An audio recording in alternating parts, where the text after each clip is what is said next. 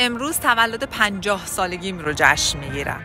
شنیدی میگن سن فقط یه عدده؟ من وقتی تو 28 سالگی جونم از یه رابطه سمی و مخرب برداشتم آوردم بیرون فکر می‌کردم بهترین روزای زندگیمو ریختم تو سطل آشغال. ولی بعدش 8 سال زندگی تنها تو ایران کلی قلب شکسته یه عالمه تجربه رو کله هم به هم یاد داد که حالا حالا ها با این عدده خیلی کار دارم. تو 36 سالگی تازه مهاجرت کردم و آمدم کانادا. وارد یه جامعه جدید شدم قوانین جدید آدمای جدید محیط جدید. درس خوندم دوباره وارد محیط کار شدم. تجربه های جدید کسب کردم. چل سالگی بعد از کلی دیت کردم با همسر فعلیم آشنا شدم و ازدواج کردم. چهل و یک سالگی بچه دار شدم و تو 43 سالگی کار بانک با تمام امنیتش گذاشتم کنار و رفتم مدرسه coaching آنتونی رابینز. از اون business coaching خودم رو شروع کردم. 47 سالگی فوق لیسانس روان درمانگری رو شروع کردم. روز تولد 50 سالگیم رو جشن می‌گیرم. اصلا معتقد نیستم 50 فقط یک عدده.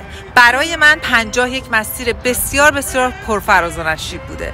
توش کلی قلبم شکسته کلی رابطه خوب از دست دادم دوستای خوب از دست دادم دوستای خوب به دست آوردم. مشکلات سلامتی از دست دادن عزیز رو تجربه کردم پادکست دادم کتاب نوشتم. به بهتر شدن کیفیت زندگی بسیاری از client هام کمک کردم. ولی هیچ کدوم از اینا برای من آسون نبودن. من میگم زندگی بخوایم نخوایم خدمت ما می‌رسه. خب چه بهتر که ازش لذت ببریم.